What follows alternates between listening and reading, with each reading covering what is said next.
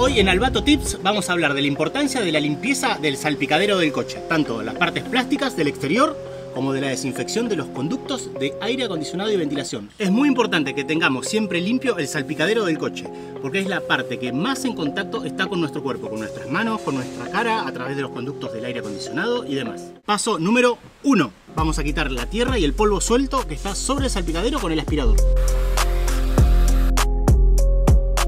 Paso número 2. Colocamos abrillantador de salpicaderos para tener la superficie siempre hidratada.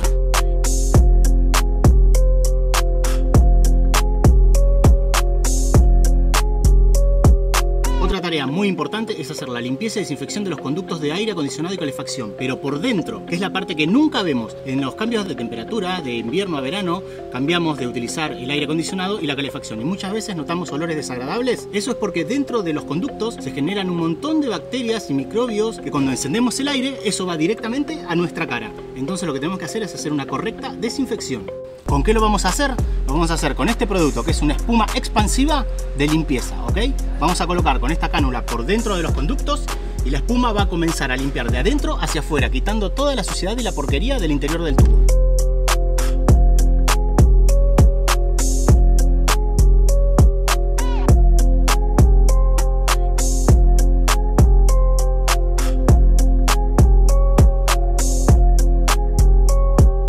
Luego de colocar la espuma expansiva, encendemos el aire del coche en una velocidad número 1 y así el forzador hará una correcta limpieza de todos los conductos de aire del salpicadero. Y de esta manera hacemos la limpieza correcta de todo el salpicadero y los conductos de ventilación para que estén siempre, siempre como nuevos. Así lo hacemos en Albato Luxury Detailing.